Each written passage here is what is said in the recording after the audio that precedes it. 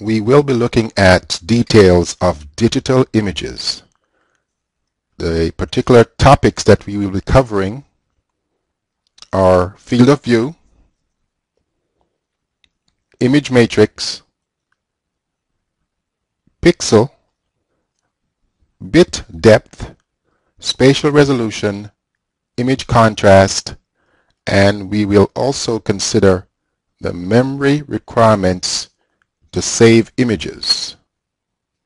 Let's start by looking at the concept of field of view. What is field of view? And we will look at FOV from the perspective of computed tomography. Now there are two options. We can look at the scan field of view, which is the actual region on the patient that is scanned during the X-ray imaging process and it's usually a circular region in CAT scan. And the image demonstrates a display field of view. This is actual image that will be displayed on the computer monitor. Now the relationship between scan field of view and display field of view is that the scan field of view always has to cover the entire region of interest. For example, if you want to scan the abdomen, you can always scan the abdomen and display a smaller region like the spine, for example. But you can't do the reverse. You can't scan the spine and display the abdomen. So the scan field of view is always equal to or larger than the display field of view. We also refer to the field of view in terms of the diameter of the region of interest. And the diameter of the region of interest is just a line going through the center or the center of rotation from one end of the image to the next.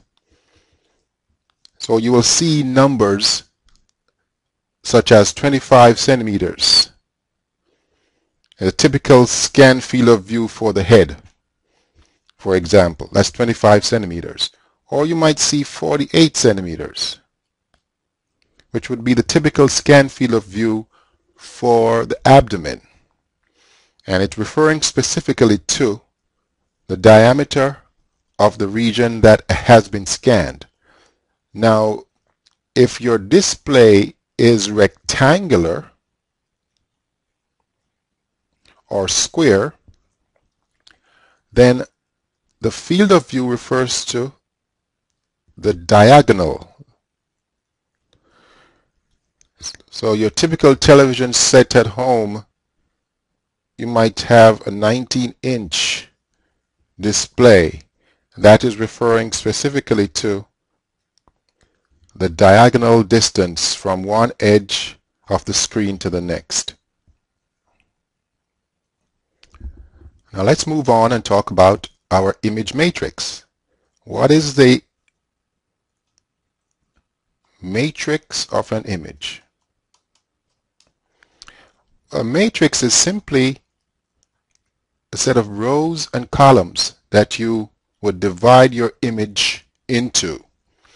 So the image that's currently displayed on the screen, I can split that up into a series of rows and columns. So in this particular example, I have one row, which is running horizontally across the image and the second row also running horizontally. And I have two columns. One column here and the second column running vertically right next to it. And this would be considered to be a 2 by 2 matrix because there are two rows and two columns.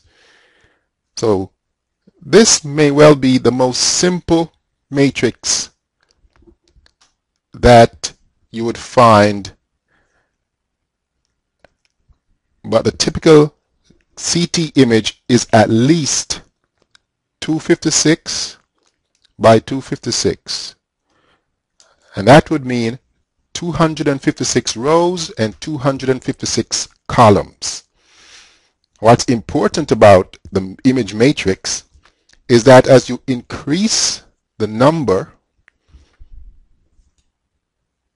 you will also improve the image resolution. We will talk more about that later. But before we consider the relationship between matrix and resolution, we first must look at the pixel. I will outline a typical pixel in purple. The smallest tile within that matrix is considered as the pixel. And your pixel, which is a shortened form for picture element,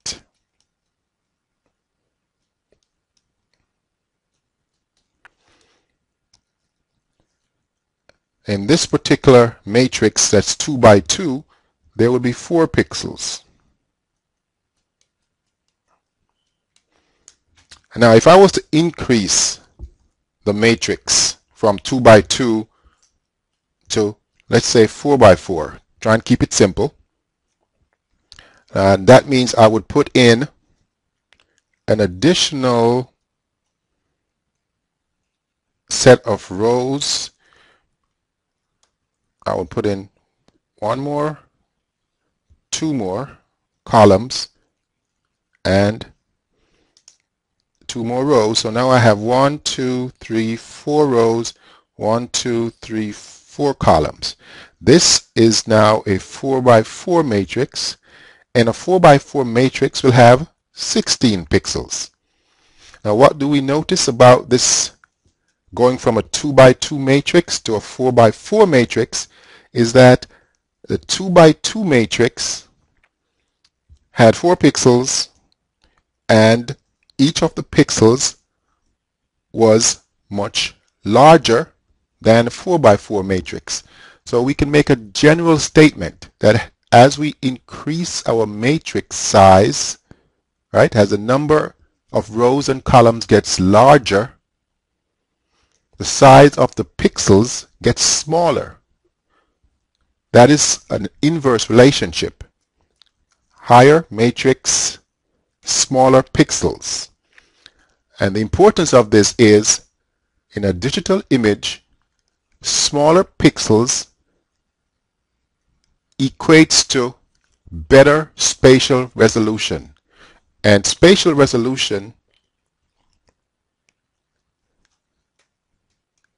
has to do with the display of image detail.